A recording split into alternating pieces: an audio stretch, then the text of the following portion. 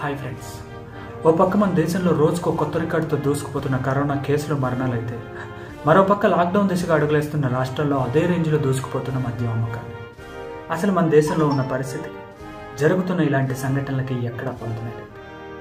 చనిపోయిన వాళ్ళ గురించి విచారించాలా ఇలాంటి తాగుబోతులను చూసి సిగ్గుపడాలా?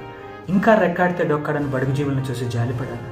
లేదా ఈ కరోనా వల్ల మా ఫ్రీడమ్ దొబ్బింది అని ఫీల్ అయ్యే వాళ్ళని చూసి ఆశ్చర్యపోవాలి?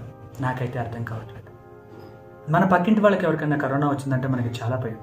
అటు పక్కగా వెళ్తాం కూడా మానేస్తాం. ఎందుకంటే కరోనా ఎక్కడ అంటుకుంటుందో అని.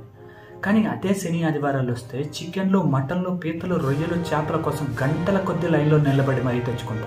అప్పుడు కరోనా గుర్తుకురాదు.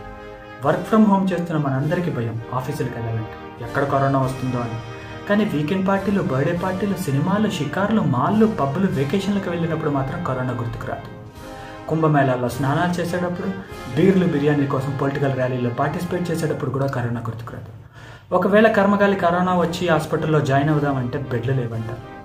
బెడ్లు దొరికితే ఆక్సిజన్ లేదంట. హైవేలలో అంబులెన్స్లు నాపేస్తారు లక్షలకు లక్షలు బిల్స్ వేసి జనాల్ని దోచి పారేస్తారు బ్లాక్లో మందులు అమ్మేసుకుంటారు. దరిద్రం ఏంటంటే ఇవన్నీ చేసేది ఇండియన్స్ ఇండియన్స్ కోసమే.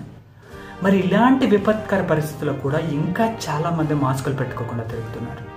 సోషల్ డిస్టెన్సింగ్ అయితే దేవుడు మన ఇండియాలో అసలు ఎక్కడ కనపడట్లేదు. ఏ మరి మన ఇండియన్స్కి బాధ్యత లేదా దేశభక్తి లేదా అంటే ఉంటుంది. వాట్సాప్లో మెసేజ్లు చూస్తున్నప్పుడు ఫేస్బుక్లో పోస్టులు చూస్తున్నప్పుడు వార్తలు వింటున్నప్పుడు ఎక్కడ లేని దేశభక్తితోటి నాలుగైదు గ్రూప్స్కి ఫార్వర్డ్ చేసేసి ఒక పది మందితో గ్రూప్ డిస్కషన్ పెట్టేసుకొని చేతులు తెలిపేసుకుంటారు. ఇది ఇలాగే కొనసాగితే థర్డ్ వేవ్ ఏంటి? ఇంకా చాలా వేవ్స్ వస్తాయి. అప్పుడు మనకి నియర్ అండ్ ఇయర్ పీపుల్ని మనం చాలా మందిని కోల్పోవాల్సి ఉంటుంది. చాలు. ఇప్పటిదాకా జరిగిన నష్టం చాలు. ఇక నుంచి అన్న బాధ్యతగా ప్రవర్తిద్దాం. Proud to be an Indian అనిపించుకుందాం. జై హింద్.